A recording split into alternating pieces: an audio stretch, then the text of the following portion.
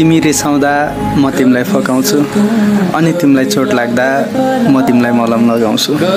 यो छोड्ने कुरा त बाहना मात्रै त हो नि माया। यदि तिम्रो घरकोले मानेन भने नि तिमीलाई तिम्रै घर आएर भगाउँछु। अहिले पो एक्स भयौ त तिमी। नत्र एकादेशको रानी थियौ मेरो अनि म तिम्रो राजा। बाटोमा हिँड्दा देखेको बेला बोलिदेऊ माया। लाज किन बाबा. लाउँदिन भन्दा भन्दै एउटा पागलसँग माया बस्यो। हामी बिचमा झगडा त धेरै हुन्छ तर छोड्ने कुरा कहिले नि हुँदैन।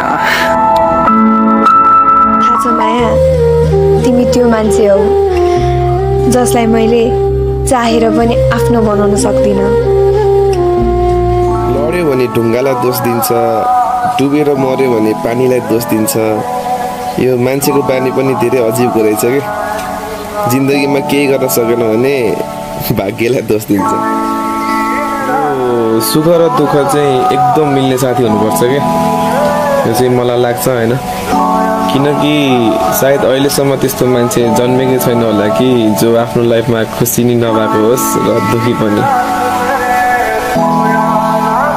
रिसाउँदा म तिमीलाई फकाउँछु अनि तिमीलाई चोट लाग्दा म तिमीलाई मलम लगाउँछु। यो छोड्ने कुरा त बाहना मात्रै त हो नि माया। यदि तिम्रो घरकोले मानेन भने नि तिमीलाई तिम्रै घर आएर भगाउँछु।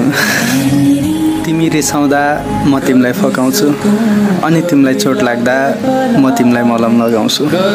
यो छोड्ने कुरा त बाहना मात्रै त हो नि माया। यदि तिम्रो घरकोले मानेन भने नि तिमीलाई तिम्रै घर आएर भगाउँछु।